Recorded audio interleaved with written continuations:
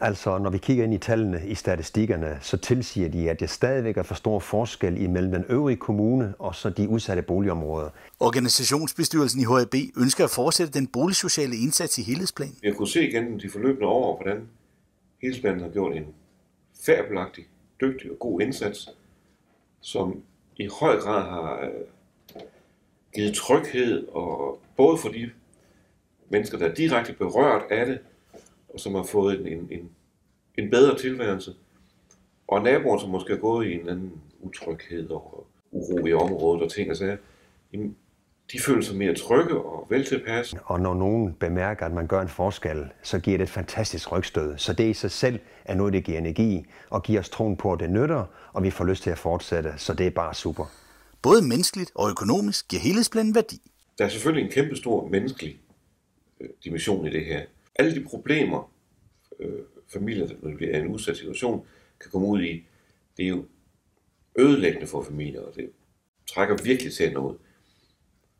Og når det bliver løst, så er det jo dejligt.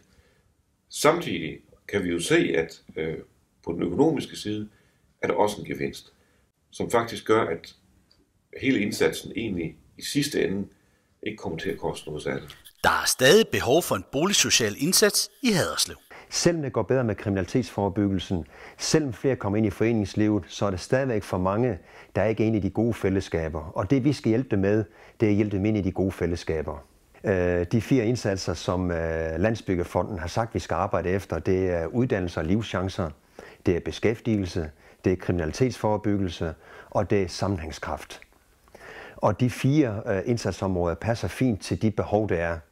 For hvis du kigger på foreningslivet eksempelvis, så er stadigvæk for mange børn og unge, der er uden for foreningslivet. Hvis vi skal have sammenhængskraft og gode fællesskaber, så skal de ind der, hvor de andre unge de er. Og kigger du på beskæftigelsesgraden og uddannelsesgraden, så er det stadigvæk for mange arbejdsløse, for mange, der er på overførsler. Så det indsatsområde, de definerer rigtig godt, hvad det er, vi skal tage fat i.